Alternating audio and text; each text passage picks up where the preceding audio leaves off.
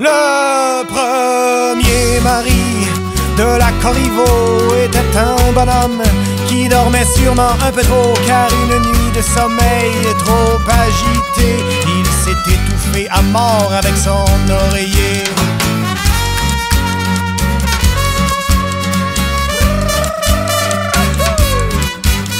La veuve s'est remariée, ce ne fut pas trop long. Avec un alcoolique qui faisait des dépressions, on l'a retrouvé pendu d'une drôle de façon. La corde attachée à la selle de son étalon.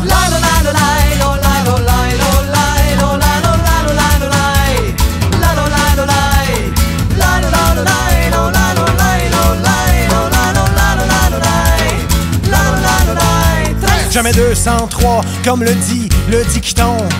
Sur un fondeur de cuillère, elle jeta son dévolu, mais le pauvre étant victime d'une distraction. Dans l'oreille s'est versé de l'étain fondu.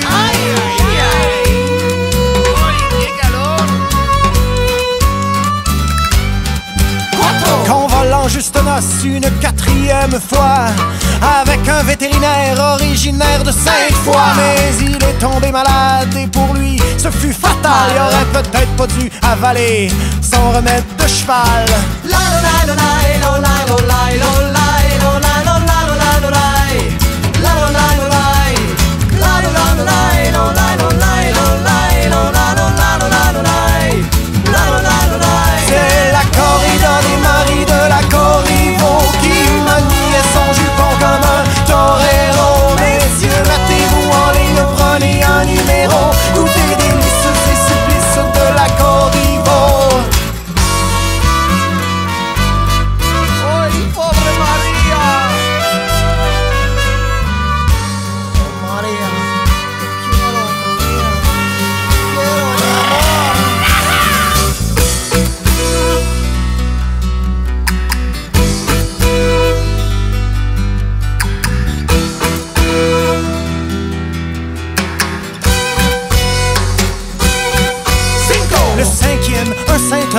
Réputation sans tache.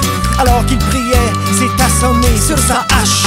Le sixième, un cordonnier, malhabile, s'est passé son haleine à travers le nombril. Le septième, un colon anglais, à l'air louche, s'est emballé par accident sur sa fourche. Non, jetez plus!